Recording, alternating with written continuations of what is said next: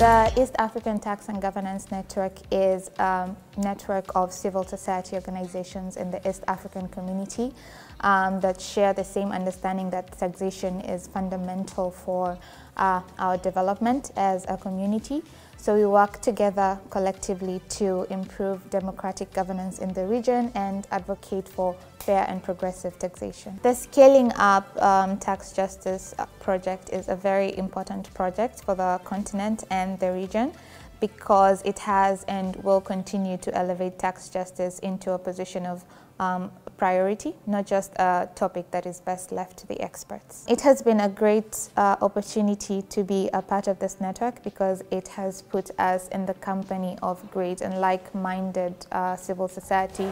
organizations and we have been able to learn from each other's strengths and weaknesses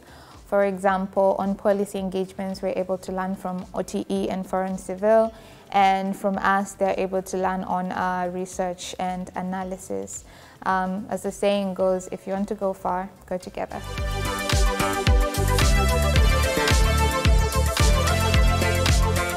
One of the biggest achievements under this project was, I believe, back in 2021, when together with the Okoa Uchumi Coalition in Kenya, we analyzed the finance bill of 2021 uh, and 2022 and made uh, recommendations to the Departmental Committee on Finance and Planning in Kenya. Uh, the committee accepted six out of uh, 10 of the recommendations that we gave them, one of which includes a segment on double taxation agreements that prevents members of parliament from entering into double taxation agreements with unfettered powers. And I'm really excited about the work that we're going to do for phase three.